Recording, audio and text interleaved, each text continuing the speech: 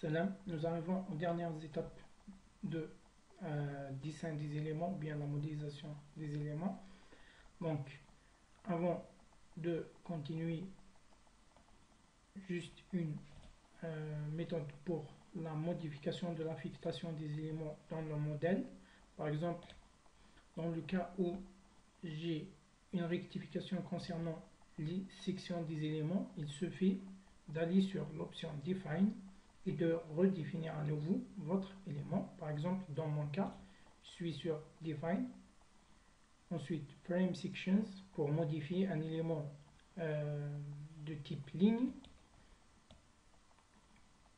Maintenant, l'élément que je vais modifier, il s'agit de la poutre de chaînage. Donc, je clique sur Modify Show Property. Ensuite, il suffit de modifier. Par exemple, dans mon cas, section, la nouvelle section c'est 25 x 30. Donc, il suffit de modifier la dimension volume.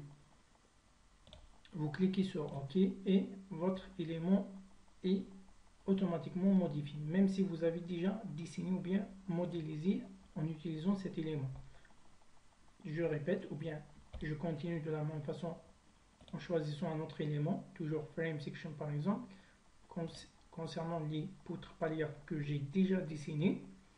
Donc il suffit de cliquer sur Modify Show Property et je modifie, je mets par exemple 25 x 30 au lieu de 25 x 35.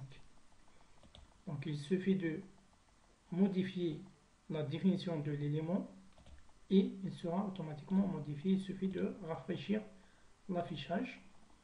Donc, par exemple, si je sélectionne une poutre palière,